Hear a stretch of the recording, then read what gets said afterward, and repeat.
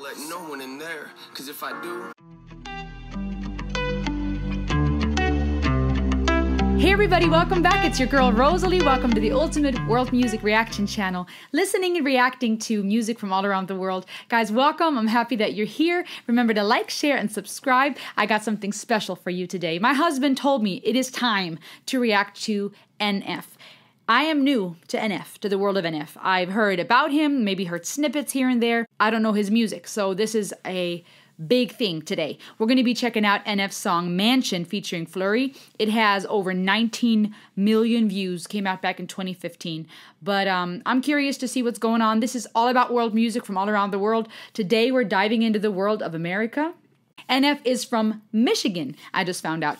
I don't know anything about him, and I'm not going to look into anything yet because I want to be as objective as possible. This channel is about real talk, real reactions. Why is this channel special? Well, I'm a singer songwriter, play some acoustic guitar, I've released my own music, I have a master's in counseling psychology experience as a therapist and a teacher. My desire is to enjoy this music with you, to pull out encouragement, to inspire you. I'm happy that you're here, you guys. Like, share, subscribe. Let's dive into this song song NF called Mansions. The audio version featuring Fleurie.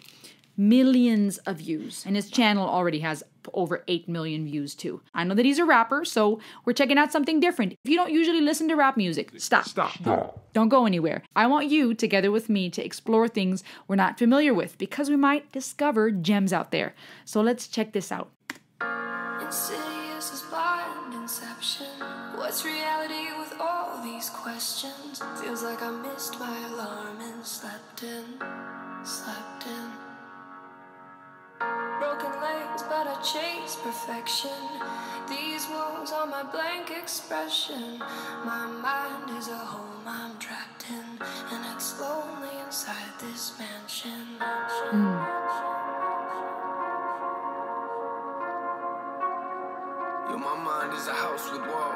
Covered in lyrics, they're all over the place. The songs in the mirrors, written all over the floors, all over the chairs. And you get the uncut version of life when I go downstairs. That's where I write when I'm in a bad place and need to release and let out the version of NF you don't want to see. I put holes in the walls with both of my fists till they bleed. You might get a glimpse of how I cope with all this anger in me. Physically abused,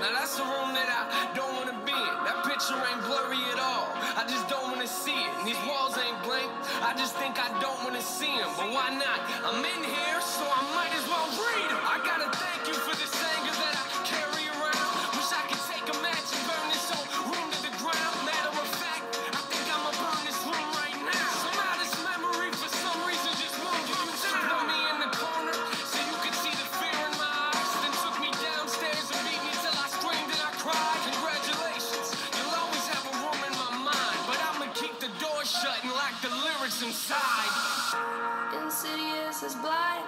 What's reality with all these questions? Feels like I missed my alarm and slept in. And slept in. Broken legs, but I chase perfection. These walls are my blank expression. My mind is a home I'm trapped in. And it's lonely inside this mansion. Inside this mansion. Yo, my mind is a house with walls, covered in pain. Problem is I don't fix things, I just try to repay. Cover them up like it never happened. Say I wish I could change. Are you confused? Come upstairs and I'll show you what I mean. This room full of regrets, just keeps getting fuller it seems. Moment I walk into, it's the same moment that I wanna leave. I get sick to my stomach every time I look at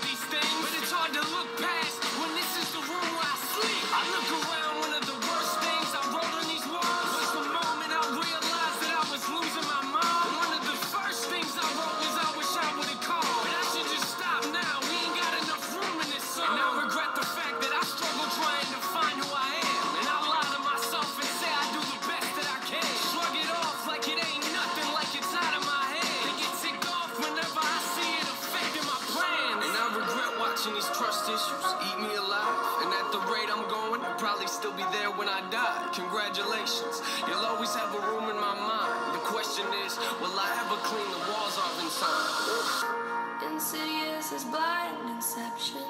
What's reality with all these questions? Feels like I missed my alarm and slept in. slept in. Slapped in.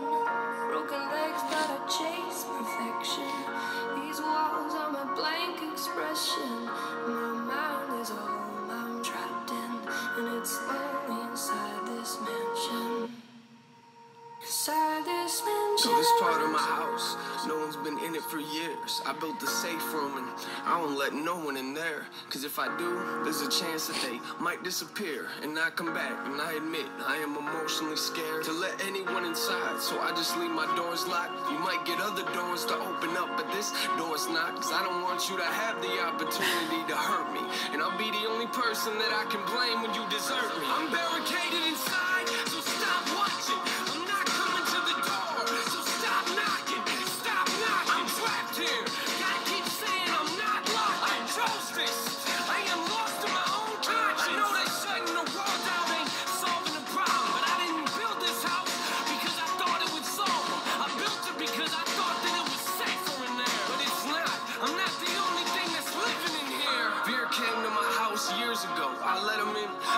A problem because I've been dealing with this ever since. I thought that he would leave, but it's obvious he never did. He must have picked a room and got comfortable and settled in. Now I'm in a position it's either sit here and let him win or put him back outside where it came from, but I never can.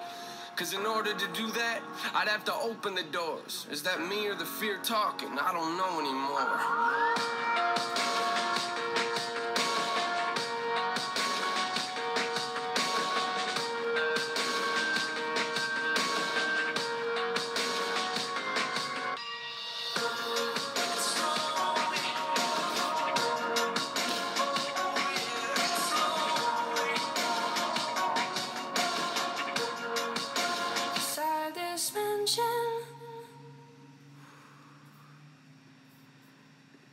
Oh man, y'all.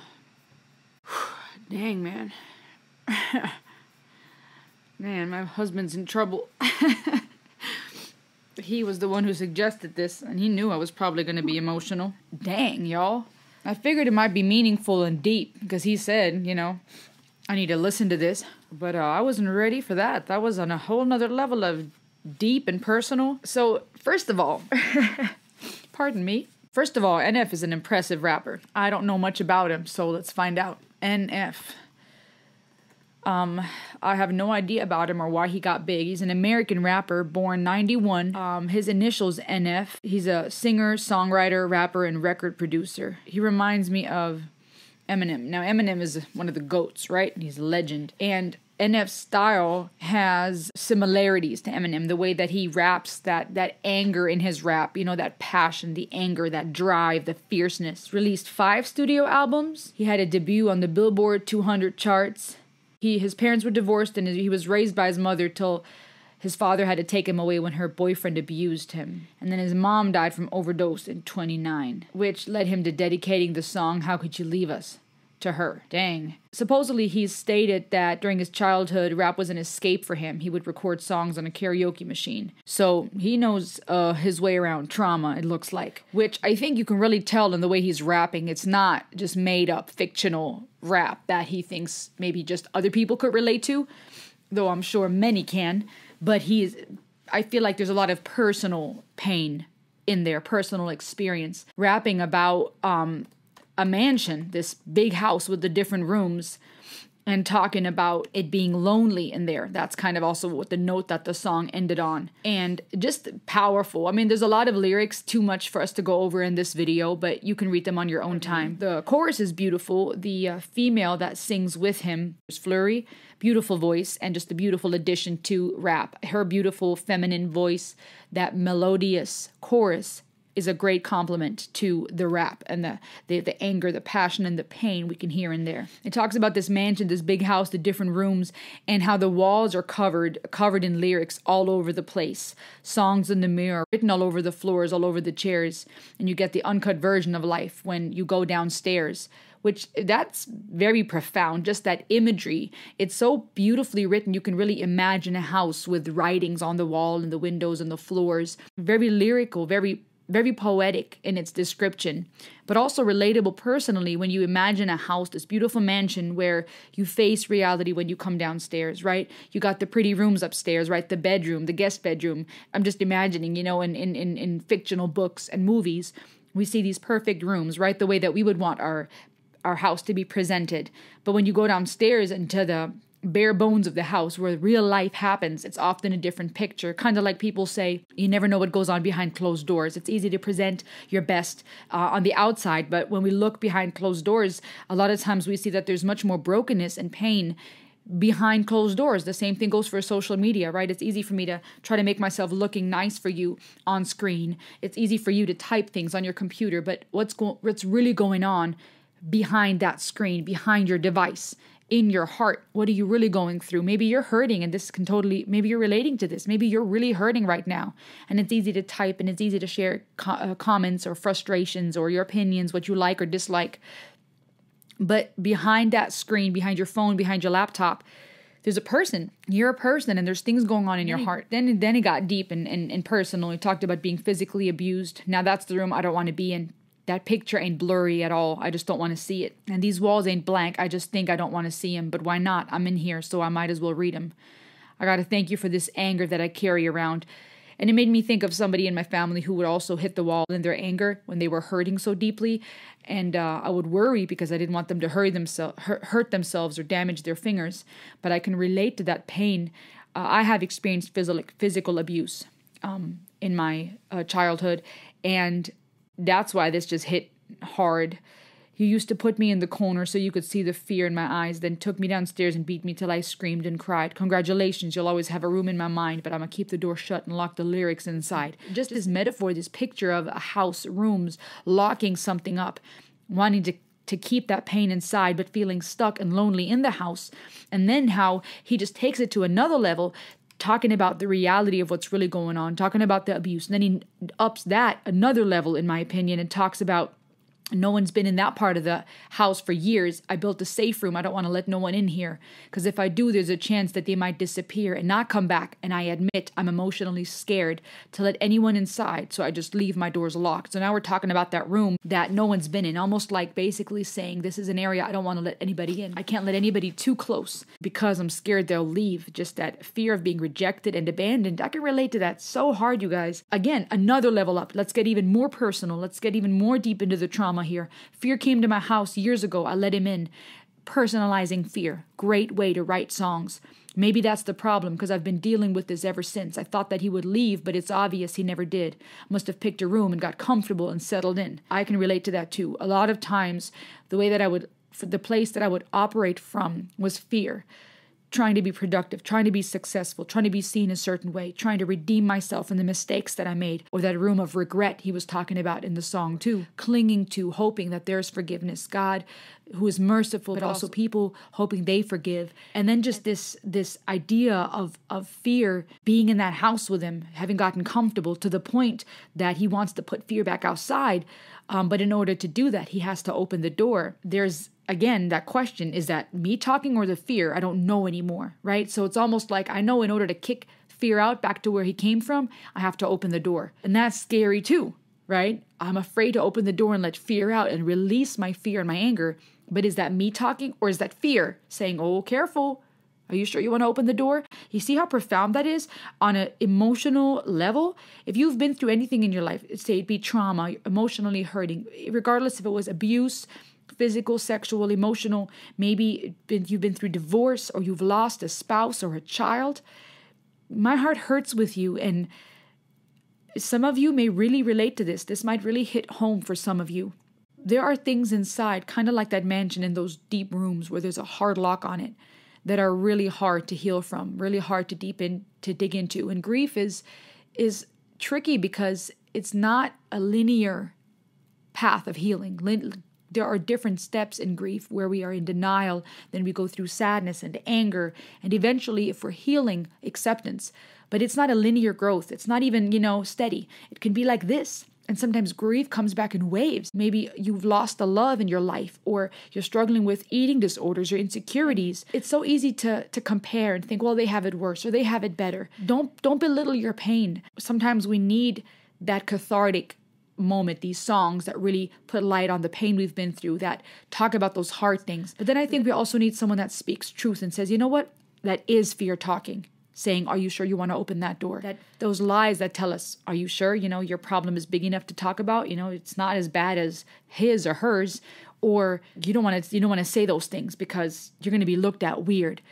You know, there's a lot of things that still have quite a bit of stigma on them. It's getting better talking about mental health and healing and psychology and need for counseling and therapy, but especially on the internet, there's still a lot of just damage that can be done just by the click of a button. People commenting, saying things, hiding behind their screen. I just want to be a voice of truth today for you to let you know that you are loved, that you're seen, and it's going to take time to grow and to heal, but I hope you can dare just to open that door to your mansion just a little bit so that God's love can just come rushing in there and start just cleaning up those walls and cleaning up that floor and just lovingly just wiping that pain off those mirrors in your house and wiping the dust off those windows so you can look out and see that there's a world of, of other people that have a lot of love to give, that there's more life out there, that this is not the end. You were created to live. There is hope. There's more out there. Great things that can still come your way. Love that is still available for you. This is a music reaction channel, world music, listening to music from around the world, enjoying the music, taking apart the lyrics, pulling out some psychology, looking at it on a spiritual and emotional level. You do matter. Please leave a comment below and let me know what this song means to you. Let me know where you're from, what else you want me to react to. If you're not into rap, I hope that you were able to make it this far in the video and just explore something different. Like we tell kids a lot of times, just try it. You might like it. I'm gonna need a moment to recover from that song, yo. That that was deep. That was a whole nother level. If you want to find ways to support me, check out the description below. There's ways that you can support this channel so we can grow together. Subscribe, comment, like, Guys, share. You are special. You matter to me. This was Rosalie Reacts, you guys. Until next time, heyo!